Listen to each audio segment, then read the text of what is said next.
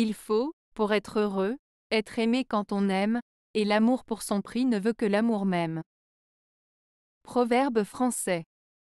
Ce proverbe français signifie que pour être heureux, il est important d'être aimé en retour lorsque l'on aime quelqu'un. L'amour véritable n'attend rien en retour, il se donne sans condition ni attente. Ainsi, le bonheur réside dans le fait d'aimer sincèrement et d'être aimé de la même manière en retour, sans chercher de récompense ou de reconnaissance en échange.